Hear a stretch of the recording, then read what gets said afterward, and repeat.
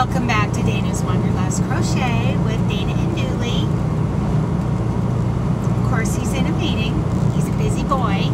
So there's three things um, I want to talk about. First of all, you know, I always uh, start these videos with yarn tubers.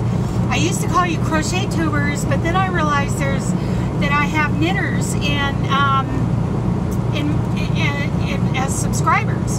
So, you know, we're yarny kind of people. And now, more recently, I'm subscribing to, and others are subscribing to me from different um, communities, like um, the soap crafters, you know, people who are making soap. Um, farmers, people, you know, like there's the Farmall guy, there's the farm family. I can't think of their name that I'm subscribed to. You know, there are people all over. So I just want to say, um, you know, when I say yarn tubers, I'm still thinking of all of you. Not just the yarny people and crochet people and knit people. Um, I come from an agricultural background, and that's kind of part three of what I want to talk to you guys about. Now, what was part two? Oh! okay. So, for those of you who don't, you know, don't know, in the trucking industry, um, we have what are called ELDs, electronic logging device, where we used to do it all by hand on paper. Um, there's a what we call the ELD mandate, which means that all trucks, basically all trucks, I'm not going to get into the details, um, have to have an electronic logging device on board.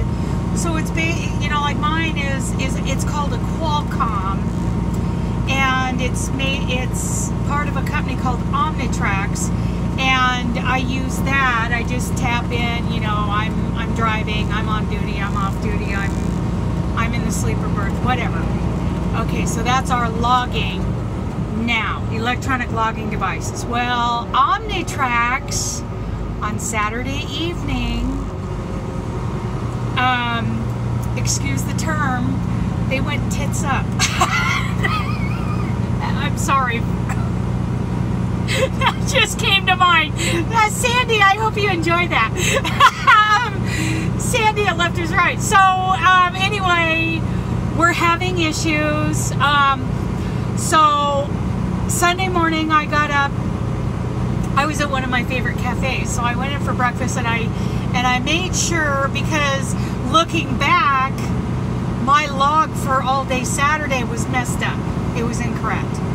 Um, so I got copies of my logs from the previous eight days emailed to me by my covering dispatcher. And it took me an hour, hour and a half, but I finally got all day Saturday written out correct on my paper log. It's, you know, some I had to kind of mentally go back to truck driving school to get that done right.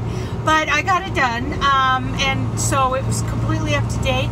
Then I started my Sunday log, and I all day Sunday yesterday I was on a paper log, and today Monday.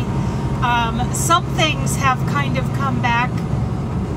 Um, like my eight days back now is correct up until Saturday and Sunday. So Saturday, Sunday, and today Monday, I'm on paper log. So nationwide, it's not just my trucking company. It's um, it's nationwide. And it, I don't believe it's all models of these Qualcomm devices. I believe there are models out there by reading um, in our trucker Facebook groups. There are some people who are not having trouble with their Qualcomms. So I have been kind of super focused on my clock, my hours of service clock, and my logs to make sure they are absolutely as correct and detailed as I can make them, just in case uh, some DOT officer wants to take a look at them. I just want them right. I'm just covering myself. So that is uh, what's going on in the trucking industry today. Uh, the third thing I want to talk to you guys about is I kind of want your opinion on this. So um, I was just watching Chronically Crocheting, and over her left shoulder was the most beautiful. She called it a a cowl. To me, it looks like a poncho, but it was. I mean, I'm not a poncho wearing person, but that was beautiful. I mean, the black and and it, it's it's basically a black, like a beautiful cowl poncho that has this lavender kind of uh, fringe on it. It is gorgeous. Okay, so that is beautiful. I'll tell you what else is beautiful. Um, Sandy at Crochet A has her pattern out with the um, the scrutty. I saw that Lisa at Lisa's Crochet made one. A lot of people have made one. That is a beautiful piece. And I wouldn't, you know, even in my lifestyle, if the occasion called for it, and I had one of those, I'm, you know, I'm not, you know, beyond wearing one of those, especially that, oh, that thing that was in Crystal's chronically crocheting video. I was just watching that video, and that thing is beautiful. Same with the scrunny. Okay, but, okay, so Crystal lives up in the Coeur d'Alene kind of Spokane-ish kind of area, Pacific Northwest but she but she's very north and she's east of um, the Blue Mountains. So she's in an area that can get pretty dang chilly in the winter. Okay, well and Sandy, she's in Canada.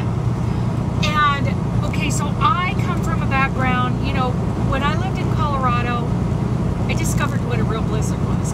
Because I grew up in like different parts of Oregon and and when I say different parts, they are different. Western Oregon is not the same place as Eastern Oregon. Um, Western Oregon, where I live now, it's wet. It's rainy. You know, it might get a little warm, kind of warm in the summer. Um, it gets, it's wet in the winter. Occasionally, we get a storm through there every couple years. It kind of devastates us a little bit, you know. But then I moved to Colorado, and I and so here's the thing about when I was living in Colorado on my place outside of Peyton, I lived in the Bijou Basin on 35 acres. And I was training horses right there at the place. My husband was overseas. Now in November, I would put on my insulated coveralls and I would wear them until about May. I I would go to the two places I went to the most if I wasn't home working, I would either go to Walmart to get stocked up or I would go to Big R or both. Big R is like a tractor supply, uh, a D&B supply. It's like it's a it's a farm store. Okay, so I could get feed and I could get all kinds of supplies there. Um, and those are the places I went because I worked at home. And so I would get up in the morning, put on my coveralls. In the wintertime, um, I'd feed the horses right around daylight. I would take, I would walk. Dually and I, you know, he needs to go for a little walk, so I would go with him, and we'd walk, you know, one part of the property, um, come back, and if I had horses in to work, I would go work them and get that out of the way. Um, you know, the horse training slowed down in the winter, that's for sure. But um, so I would work a horse or two or do whatever needed to be done there get them situation and and one big battle in Colorado is to make sure the water is liquid.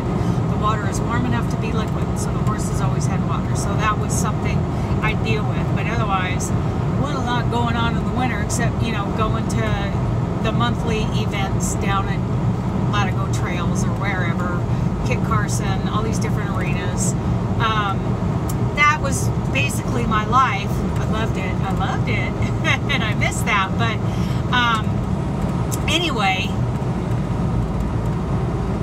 you know, my husband was overseas. Um, I had church, which was, you know, Calhan Church of Christ. We're, we're not talking about a big city church here. We're talking about 20 people, you know, um, which made us, you know, a, a pretty, pretty close socially, even. Um, even you know outside of church, you know, we we were friends, and um, but like there would be events coming up, you know, in Colorado Springs that I would have loved to have gone to, but you know, where am I going to wear Crystal had in her video, where am I going to wear Sandy's, um, you know, beautiful scrutty, even, uh, you know, like a shawl. You know, we didn't belong to one of those churches where they wear these beautiful shawls into church. Now, I, I do have church friends who do wear shawls, like a couple, like just a couple. Uh,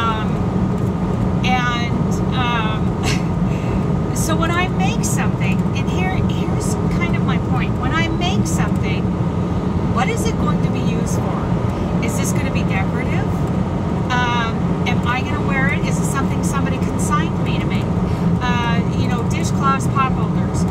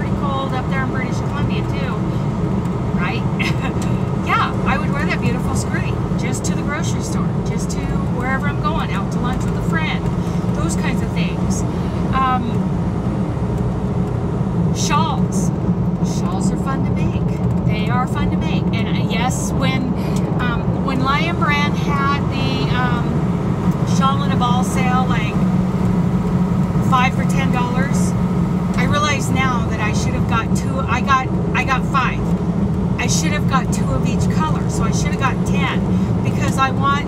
You know what am I gonna do with them? it's still sitting there.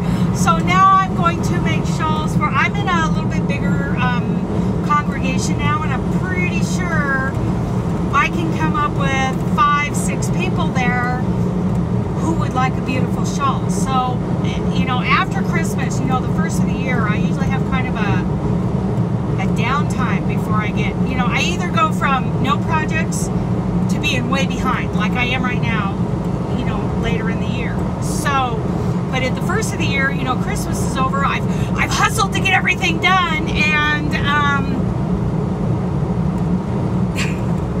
and then the first of the year, I'm like, now what? so when I find myself in that position, I I'm gonna wait for another Lion Brand sale and make sure I get another of each of those five colors, and I'm going to make good sized shawls. I, I mean real shawls, you know, not a shawlette. And I'm going to put tags on them that basically say, if you found me, I'm yours. Keep me or give me away.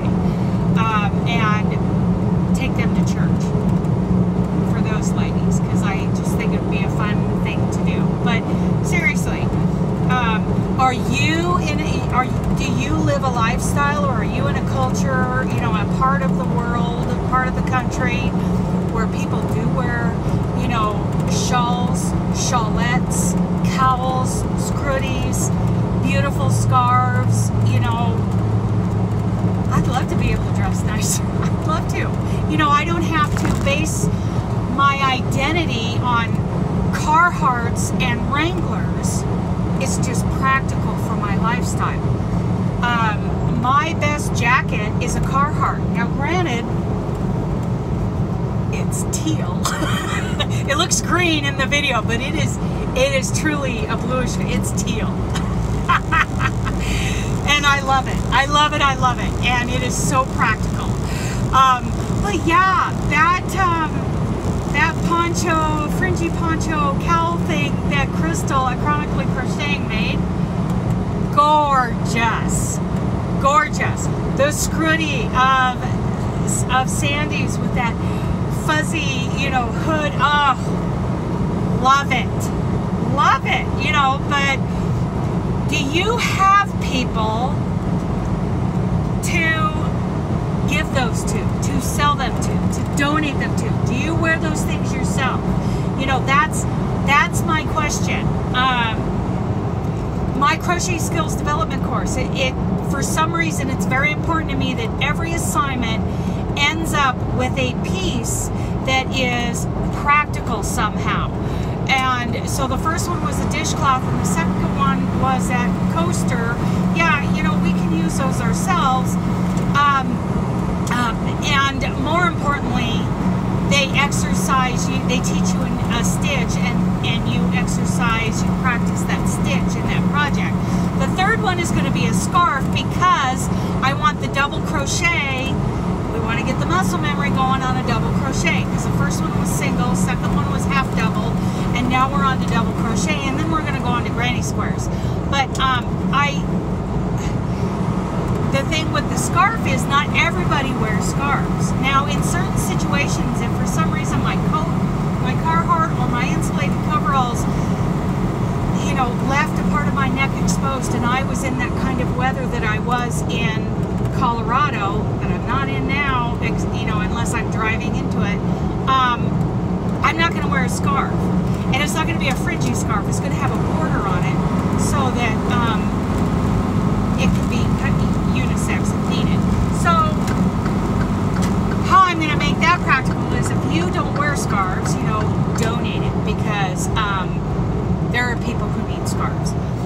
So, you know, I so that's that's my discussion with you today about crochet um, and knitting or whatever your um, your creativity is. If you're making if you're making things, you know, some of you are making things strictly um, on, you know, because somebody consigned you, somebody wants has is paying you to make these, or you're making them for um, like a, a craft fair, or are you making them for gifts? Do you wear these things? This is why I am really into decorative afghans. Um, you know, I have done, Mikey the crochet crowd does a lot of afghans that I like.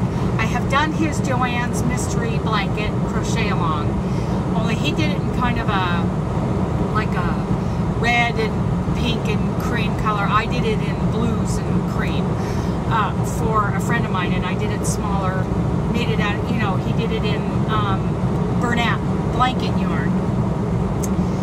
And I'm right now, I have started his um, snowflake, like his blizzard afghan that David Dan actually designed. Motifs have a white snowflake in the middle, and there are some different blues um, in between and bordering it. Um, come on around, Kenworth.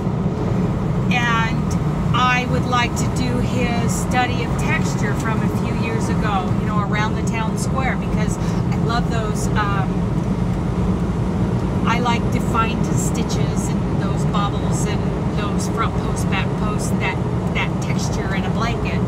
And his study of planet Earth, I think, you know, love that because to me they're not only beautiful and um, you know textured and there's a lot going on there.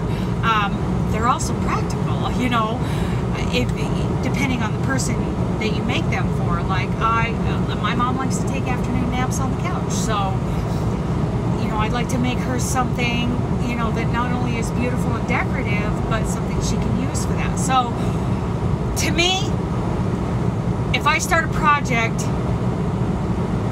I I, I totally get starting a project because you want to try it. Totally get it. Done it and I do it over and over again. I'm not saying that every project has a specific purpose when I start it, but for the most part, most of my projects do. Hello, Pete. Pete 379. So anyway, what are your opinions on that? You know, how practical is your project? You know, and not everybody wants to be practical. They're they're just making a piece of art. Totally get it Totally get it. Let's have that discussion. And besides, I just wanted to let you guys know what's going on. I left Payette, Idaho this morning. All I have to do is get over to the western side of Oregon because I deliver over there tomorrow night at like 11 o'clock. So 21, 29, uh, maybe 9 o'clock. Yeah, somewhere in there. Sometime after dark, of course. But uh, yeah, so I got two days to make a one day trip. I don't like that. I, I like it to be kind of, you know, I like to have a little bit of leeway, but because um, I don't like those tight, tight schedules. Because then I get, you know, I get tense I feel pushed and a lot of pressure. Ah, I panic. But, uh, but, you know, I'm going to be sitting a lot on this load. So, but that's okay. I'll spend the night at, um, at home tonight uh, with Dually's grandma. And I'll get back on the truck tomorrow. So anyway, give me your opinion on that. Um, you know, do you, do you like to make projects on purpose or do you, you know, do it most of the time just because you want to try it, which is totally cool. Um, what do you do with them? What do you do with them when you're done? Anyway, I love you guys. Bye.